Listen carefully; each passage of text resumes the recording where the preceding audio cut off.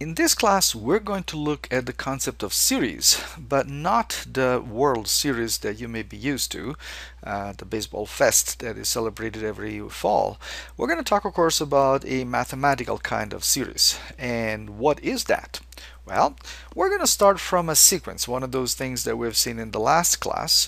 Uh, so that is a function that has the natural numbers as uh, domain and therefore that can be represented by just a sequence of numbers, a1, a2, a3, which goes to infinity and whose behavior at infinity we are interested in.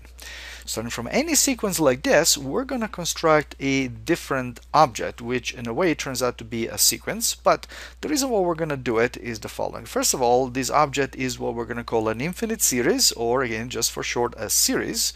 And what it is, is a formal infinite sum. So the sum of all the terms of that sequence. So we're adding up all the terms of this sequence. Now, what that means is that we have to do something like a1 plus a2 plus a3 plus etc etc. We know how to add finitely many numbers. I'm sure if I give you a set of numbers, uh, you can add them up. It may take a little bit of time, you may make some minor arithmetical mistake, but you know how to do it. The point is, how do we ever add up infinitely many numbers? That seems to be a task which doesn't make any sense, right? Well, we're going to give it sense in a way similar to what we did with improper integrals. Remember, in improper integrals, we had to add up uh, we started by wanting to add up strips over a finite interval and then we extended the idea to infinitely many. Same idea here.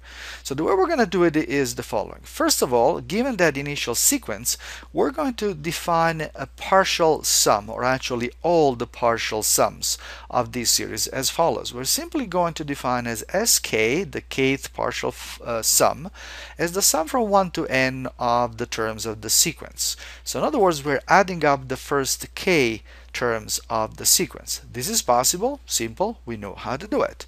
Well, if we know how to do this, then it's not that difficult at this point to go to infinity. All we have to do is we have to use, yes, limits. Okay, so what we're going to do is we're going to define the series or the sum of the series as being the limit as k goes to infinity of sk, and it is the limit as k goes to infinity of the sum from 1 to k of our ans.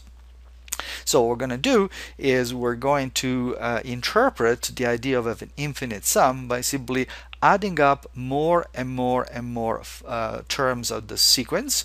Uh, each time we're, we're computing a finite sum, but then we're going to take the limit as the number of terms goes to infinity. One important point to keep in mind as we do this operation is the following.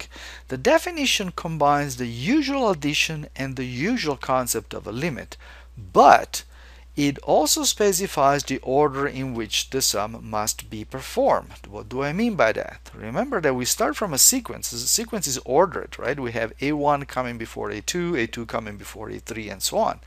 And therefore, in a similar way, when we're going to compute uh, the SKs, what are we going to do? Uh, or the, the partial sum, how is it made up? Well, we start from A1, and then we add to A1, A2, and then we add to A1 plus A2, A3, and then we add to this the next element and so on and so on all the way to the to sum all the first case this sequence is constructed in this way and is made up of these partial sums and this order has to be respected.